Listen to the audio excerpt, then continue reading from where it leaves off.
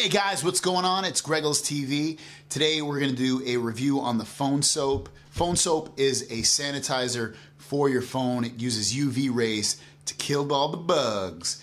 So it comes with this little insert when you buy it, uh, which says um, to sanitize lock phone, open lid, place phone inside, close lid. UV lamps will sanitize until clean and shut off automatically. A blue glow on the top of the device will indicate when the lamps are on and sanitizing. You may interrupt the sanitizing process at any time by opening the lid. The lamps turn on every time the lid is closed to ensure a germ-free environment. You can also charge your phone while it's in here. If you want to charge your phone while it's in here, all you do is feed your USB cable through right here, and then it ends up coming in right through here. This is the phone soap right here. Very simple device. You just open it, put your phone in, and close it, and it starts working. There's no buttons to it, nothing special. It's just white. It goes for $59.95 on their website. I will link it in the description down below.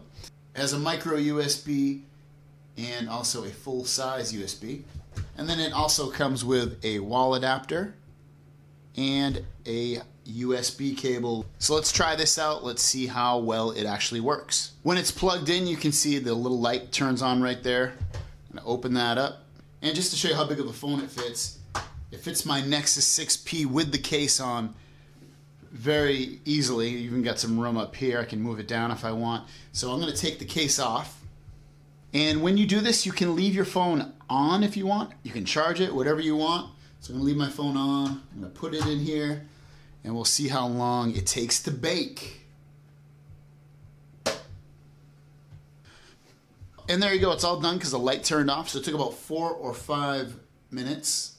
The phone is not warm at all, so it doesn't warm up your phone or anything with those UV lights. Inside, the cleaning is done with a UV light right here, UV light right here, and then these are glass surfaces that allow the phone to stay microbe free because I guess microbes can't grow on this glass right here.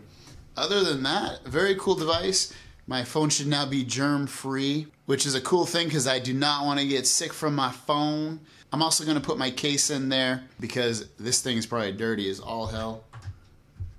Bam.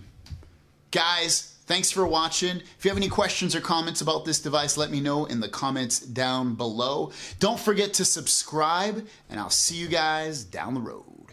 Peace!